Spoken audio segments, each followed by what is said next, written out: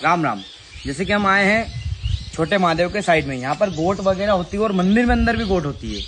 यहाँ पर दाल वापले प्रसिद्ध हमारे यहाँ का भोजन है दाल वापले यहाँ लोग दाल वापले खाने आते हैं। बाहर से भी आते हैं और नरसिंहगढ़ के लोग भी बाहर के लोगों को बुला के और यहाँ पर पार्टी करते हैं, गोट देते हैं। तो देखा क्या गया है कि जब गोट होती है, पार्टी होती है तो वो दूने पत्तल जो भी हैं, वो डायरेक्टली मंदिर के पीछे फेंक दिए जाते हैं। अब कहाँ फेंक दिए जाते हैं? आइए हम आपको बताते हैं कहाँ पर फेंक दिए जाते हैं।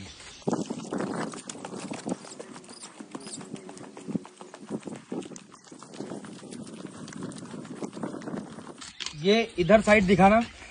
ये देखिए डिस्पोजल वगैरह, ये पूरा, ये कचरा, ये पूरा कचरा। अब ये एक जंगल है, कहने के लिए। यहाँ पर पूरे आसपास पेड़ पौधे हैं। प्लास्टिक, ये खराब, इन पेड़ पौधों को इससे नुकसान है।